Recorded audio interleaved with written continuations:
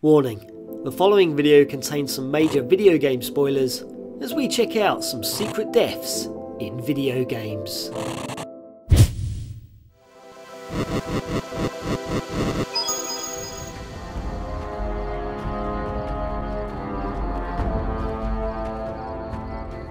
To the far south of the Mojave Wasteland in Fallout New Vegas, there stands a small town that was once a wicked and corrupt place known as Nipton, and is home now to numerous creatures, quests, and many bodies.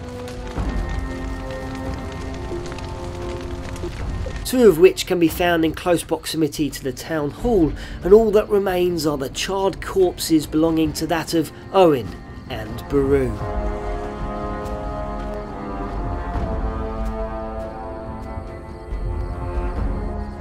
Whom were none other than Luke Skywalker's auntie and uncle, as they also suffered the same fate in Star Wars Episode 4.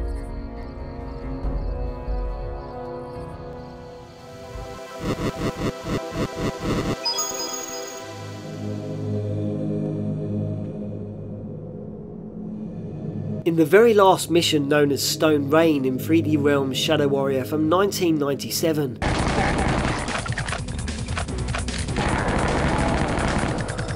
You will eventually clamber up a deadly volcano to activate numerous switches, one in particular that will open up a tunnel allowing yourself to jump down into the unknown depths of the mountain.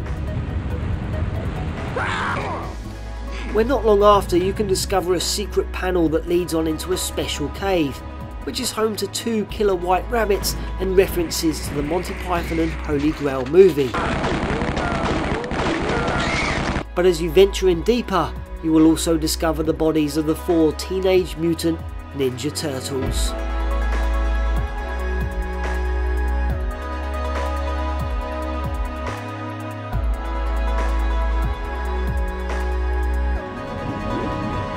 Cowabunga!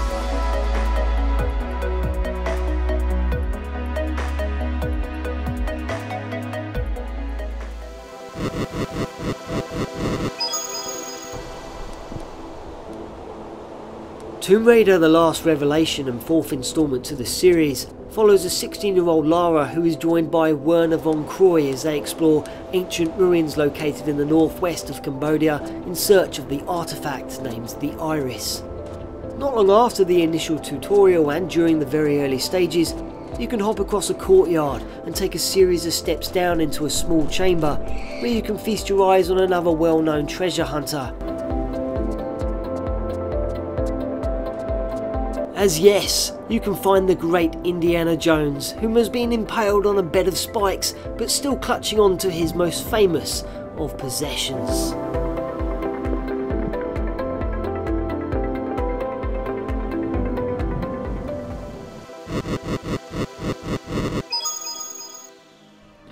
As you progress through Mission 12 Wild Territory in Stalker Shadow of Chernobyl, carefully navigate through the train platforms and make a heading towards the helicopter crash site, where nearby you can find a tunnel, a dead body as you enter, an electrical current spilling across the floor combined with deadly traps. But by taking the high ground and utilising the wreckages and containers, you will eventually find the body of Gordon Freeman and main protagonist from Half-Life, plus a rather powerful handgun known as the Black Kite.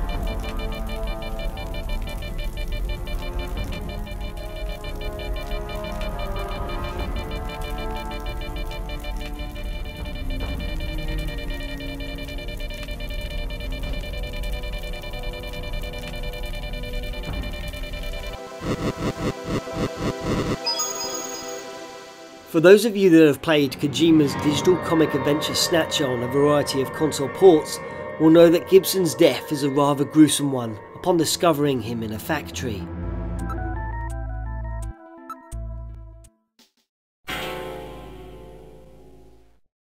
Oh.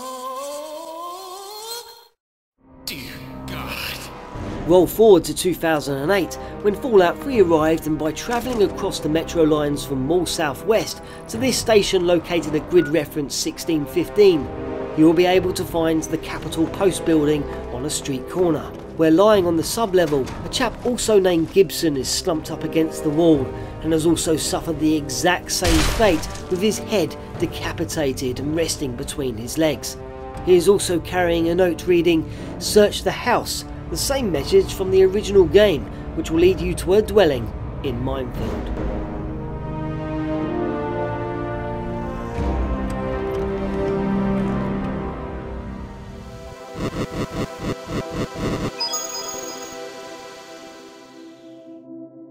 In the Sega Genesis port of the hack and slash adventure The Sword of Sodan, you should gather up four different potions and highlight them all at once to create one wacky combination and one hell of a cocktail. And then send it down the hatch, to which your character's chest will rip open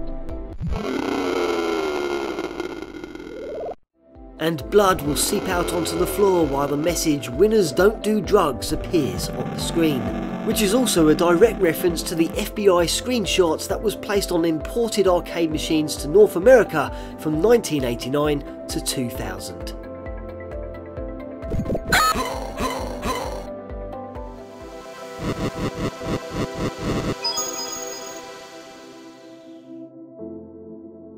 Upon the stage known as the Forsaken Compound in Serious Sam 2, which was released in 2005, it is after passing the third main gate that you shouldn't be so eager to complete the level, as by veering off to the left, there is a small chain of islands that leads to a secret sword, hat, and a coat.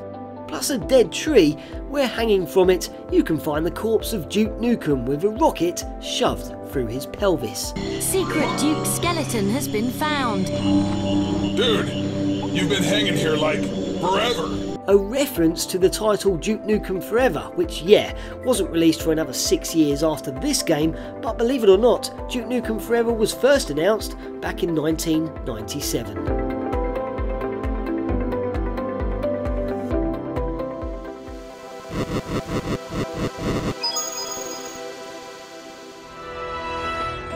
In 2014, Lara Croft set out on an adventure to recover the fragments of Osiris to stop Set from enslaving all humanity. She's seen us! Run!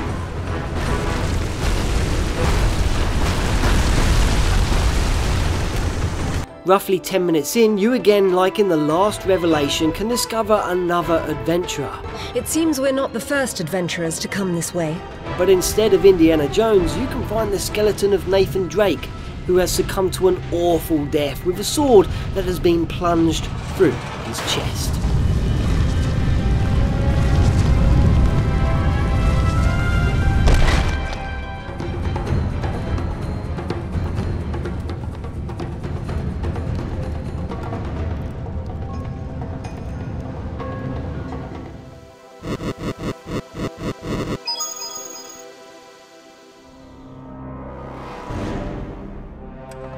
If you happen to walk the riverbanks of the River Charles just to the south of the Cambridge Polymer Labs in Fallout 4, then you will stumble upon a motionless boat close to the embankment.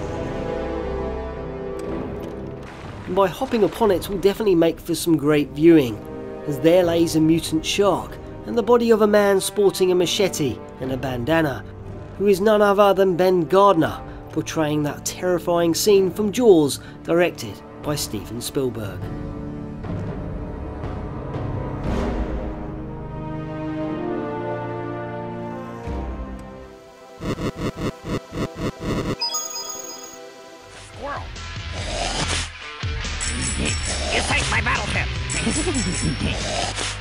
What was that?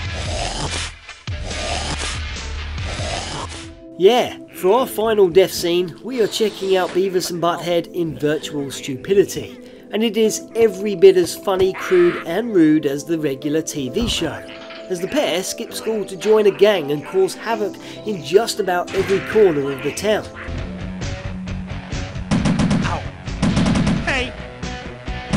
But when you visit the coffee house for a benefit regarding saving the sperm whales, head straight into the toilets and use the foot icon on the three screws holding up the broken mirror.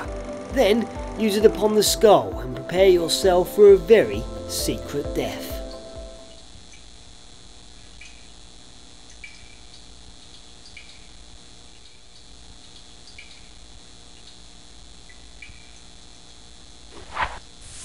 you, Beavis.